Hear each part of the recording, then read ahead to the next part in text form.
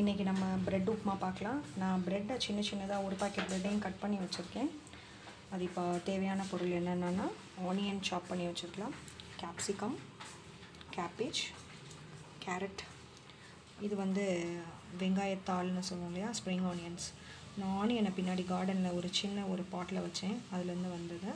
அதை எடுத்து நான் அப்பப்போ ஹார்வெஸ்ட் பண்ணி கொஞ்சம் கொஞ்சமாக யூஸ் பண்ணிகிட்ருக்கேன் இது வந்து ginger garlic paste chilli powder soya sauce garam masala. இப்போ நம்ம எல்லாத்தையும் ஒன் பை ஒன் ஃப்ரை பண்ணிக்கலாம்.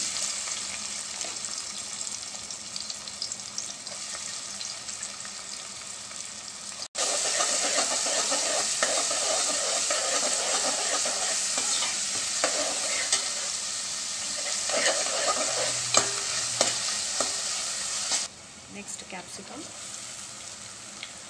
உப்மா அப்படின்னாலே ரவையில் தான் பண்ணுவாங்க. ஆனால் அது பிள்ளைங்களுக்கெல்லாம் பிடிக்க மாட்டேங்குது போராக இருக்குது. ஸோ ஃபார் சேஞ்ச் நம்ம ப்ரெட்டில் பண்ணலாம். ஒரு ஈவினிங் ஸ்நாக்ஸாக இருக்கட்டும் மார்னிங் பிரேக்ஃபாஸ்ட்டு எமர்ஜென்சிக்கு சீக்கிரமாக செஞ்சுக்கலாம். ரொம்ப ஈஸி மெத்தடில்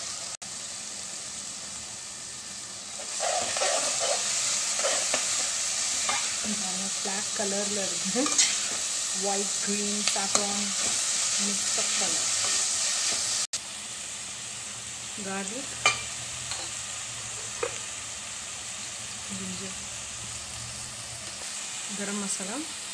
நான் வீட்டிலே கரம் மசாலா ரெடி பண்ணி வச்சுருக்கேன். உங்களுக்கு டிஸ்கிரிப்ஷன் பாக்ஸில் ஒரு ரெசிபி சொல்கிறேன் வீட்டில் பண்ணிங்கன்னா ரொம்ப டேஸ்ட்டாகவும் நல்லாவும் இருக்கும். நான்வெஜ்க்கும் நம்ம இதை யூஸ் பண்ணிக்கலாம். சில்லி பவுடர் அவங்க உங்களுக்கு எவ்வளோ டேஸ்ட்டுக்கு தேவைப்படுதோ உரப்போ அவ்வளோ ஆட் பண்ணிக்கோங்க.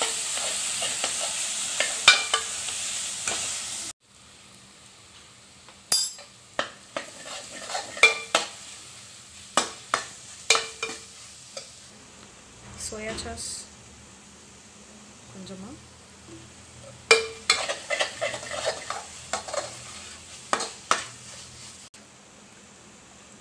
கொஞ்சோண்டு chilli sauce chilli sauce option தான். இருந்தால் யூஸ் பண்ணலாம். இப்போ நம்ம ப்ரெட் க்ரம்ஸ் ரெடி பண்ணி வச்சுருக்கோம் இல்லையா? ப்ரெட் ஆட் பண்ணி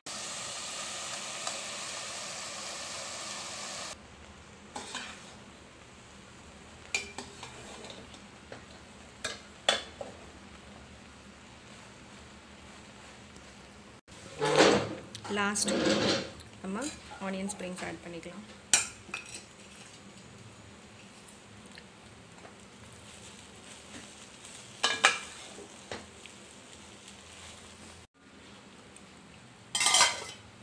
நம்மளுடைய ப்ரெட் உப்புமா ரெடி ஆயிடுச்சு.